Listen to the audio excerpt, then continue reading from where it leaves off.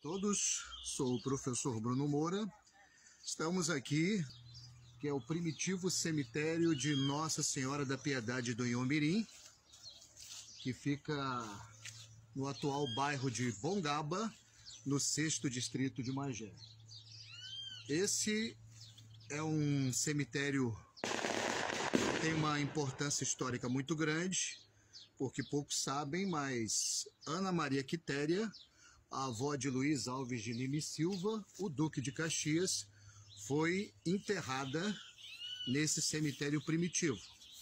Também aqui uh, foram enterradas as crianças germânicas que morreram durante o período da imigração alemã para a formação da Imperial Colônia de Petrópolis.